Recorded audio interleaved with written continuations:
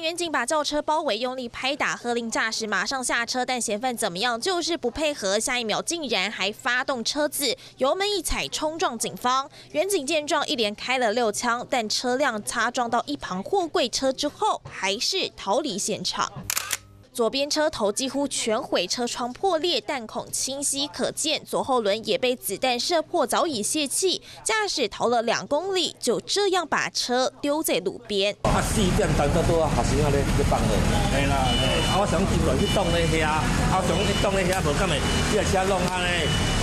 事发就在二十一号下午三点多，北市新大警方跨区到新北五股抓一名林姓嫌犯，他不但有毒品前科，还涉及多起毒品案。当下疑似正要交易毒品，没想到看到埋伏警力冲撞逃逸，警方也立刻开六枪回击，但人还是跑了，不排除有同伙接应。我看看警察不哎，奇怪，哪包拢无听到上面发发生什么代志啊？啊哈，就是也没听到碰撞。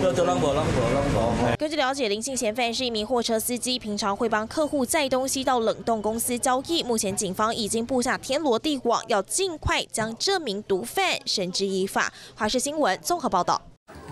华视新闻看起来，赶快订阅我们的华视新闻 YouTube 频道，欢迎按赞、订阅、开启小铃铛，最新最及时的资讯要提供给你。